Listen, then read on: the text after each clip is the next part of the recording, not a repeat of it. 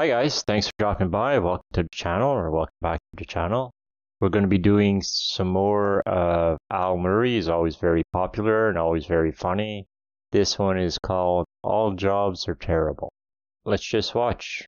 Right after you subscribe to the channel, you can you can like the, the video at the end, but you should subscribe now just so you don't forget. So since you've done that, let's watch the video. No job's all it's cracked out to be. That's a fact. Fellow there in the jumper, what's your name, sir?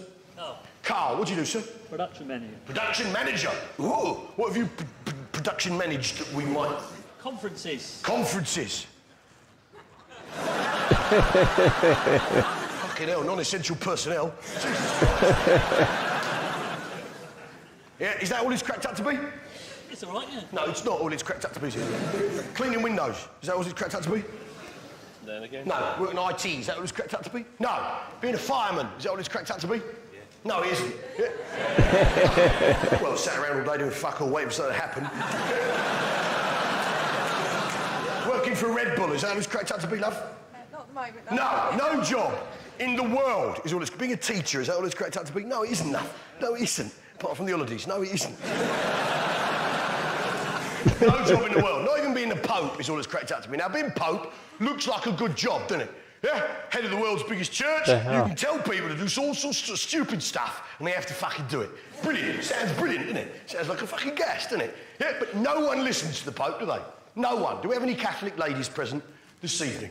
Yeah, one down there. Yeah. yeah what's your name, love?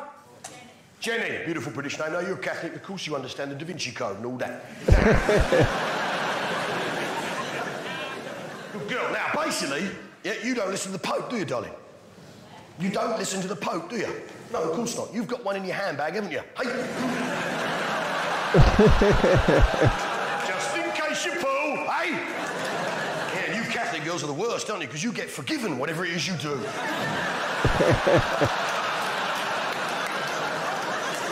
Now, it's been a year. Now, the truth is,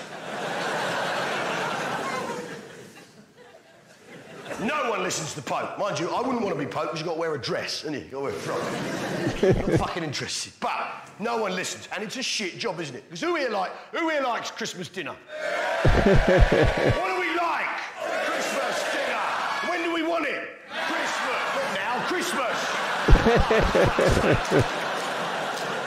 Loves Christmas dinner. Yeah, and you'd think, being the Pope, Christmas Day would be the best day of the year, wouldn't it? Because you get to eat Christmas dinner all fucking day. Just stuff his face full of Christmas dinner 24 hours of the day, Christmas Day. You'd think that being Pope. But no!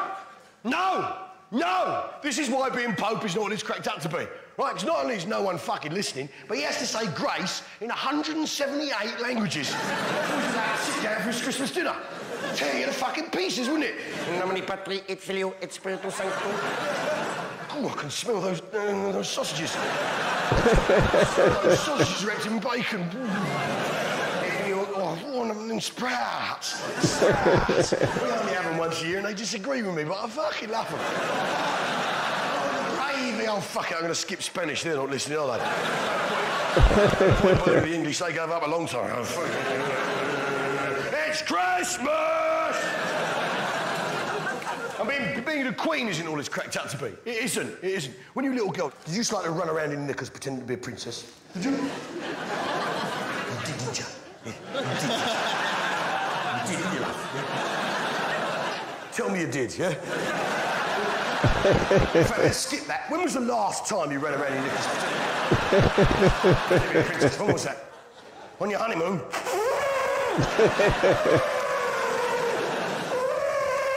Now,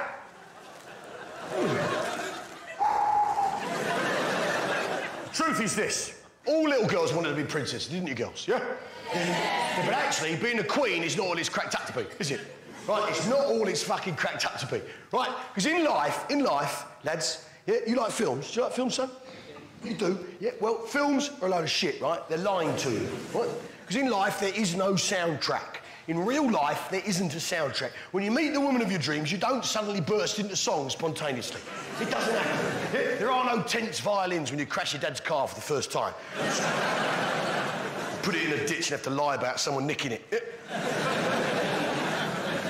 That doesn't happen. There are, there's no music in real life. There is no soundtrack, is there? Unless, of course, Your Majesty the Queen. Yeah? And she has a soundtrack everywhere she goes. The, the greatest tune in the world, which is, of course, the national anthem. My favourite tune, and your favourite tune, I'm sure. Yeah? Here we go. I. Come on!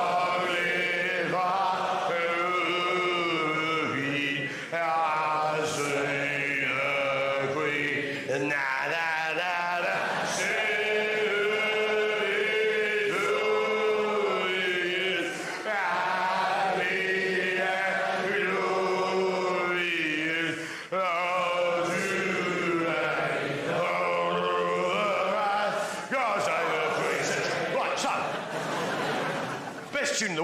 It's you and me. It's you and me. Yeah, to Majesty the Queen, it's the most fucking annoying thing in her life. Everywhere she goes, she has a soundtrack to her life, but it's the same tune every single time. You see her at a state function, her eyes go blank and dead. She's thinking, oh, fuck, here we go again. turns up in her furs and that sort of furry helmet crown thing, turns up, and then has to make shit small talk. Oh, really? You're a fireman? Well, get on with it then. At IT, you disgust me. Grow up. Put the chips down, Big Bob. Now. So that job's not all it's cracked up to be, but being an astronaut is definitely not all it's cracked up to be. Now, do you, do you, do you like sci-fi films? Huh? You, you them? You like a bit of the old sci-fi? Do we like a bit of the old sci-fi?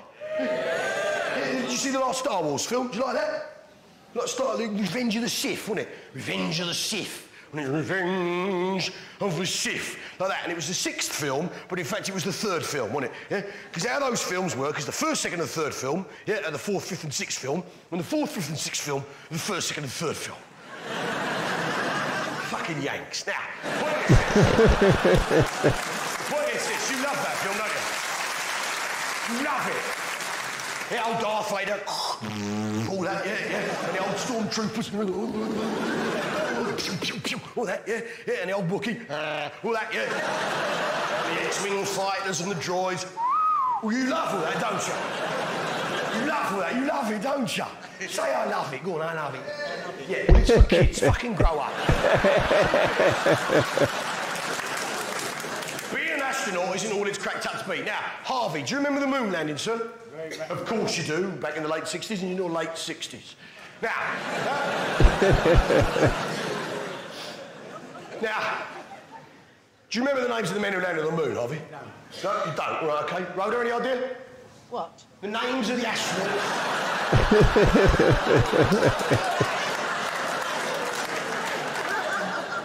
the names of the astronauts. I have no idea. You have no idea. They're Armstrong. called Neil Armstrong and Buzz Aldrin. Yeah. Who I had the privilege to meet earlier this year. Neil Armstrong and Buzz Aldrin. Yeah, first two men on the moon. Yeah, one small step from man, one giant leap for mankind. All that. Twenty-five billion dollars spent to discover that when you walk on the moon, you walk like a fucking gingerbread man. That's a lot of gingerbread. Now. But actually, there was a third bloke went with them. Yeah, a man by the name of Michael Collins, as played by Liam Neeson. a man by the name of Michael Collins, who proves that no job is all it's cracked up to be. Because he spent, Michael Collins, he spent eight years in training to become an astronaut. Yeah? Then he went all the way, a quarter of a million miles, all the way to the fucking moon. And then when he got there, wasn't allowed to land on the fucking thing. Life is a series of endless, relentless, grinding disappointment, boys. yeah, yeah, terrible experience. Five days it took them to get there. Yeah, they sat in the capsule, off they went. We're going to the moon, we're going to the moon. To the fucking moon, we're going to the moon. Come on, Neil, come on, Buzz, we're going to the moon. Neil and Buzz and Mike are going to the moon. It's going to be brilliant, it's going to be great. We're going to be walking on the fucking, fucking moon. It's going to be brilliant, it's going to be, come on, we're going to be walking on the fucking moon. Like that. They get there, pull up,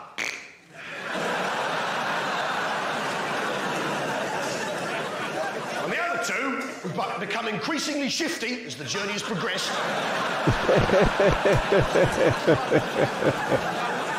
Nod to one another without making eye contact with Michael Collins, unhook themselves, like that, and float away. through the tunnel connecting Columbia, the command module, with Eagle, the lunar lander. They float through. This is zero gravity you've got going on here. They float through. Not with the legs, obviously. They float through. Close the hatch behind them. Like that. Press the button. And fuck off.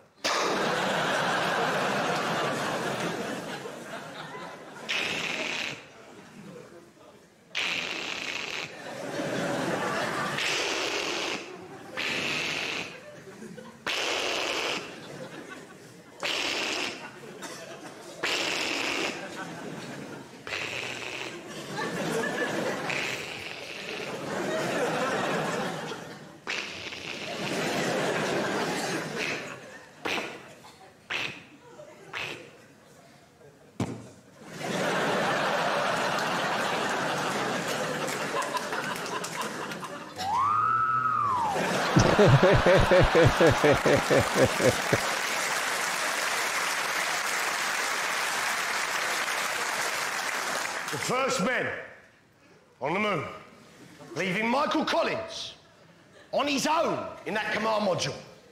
On his own for 23 hours.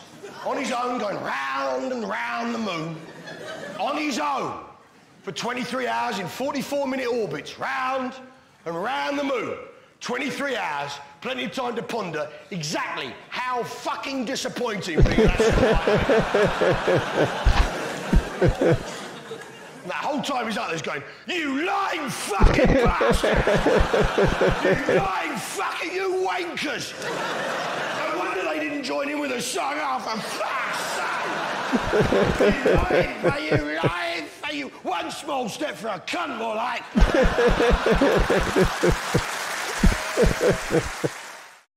All right. Okay, so that was Al Murray. All jobs are terrible. he had some good points there. Uh, yeah, there's there's something annoying about every job, I guess. Anyway, thanks for watching. I uh, hope you liked the video. Subscribe to the channel, and uh, you know, leave a comment if you got anything that you'd like me to watch or you know, and just just to say hi, you know, leave a comment, and uh, we'll see you on the next one. Thanks for watching.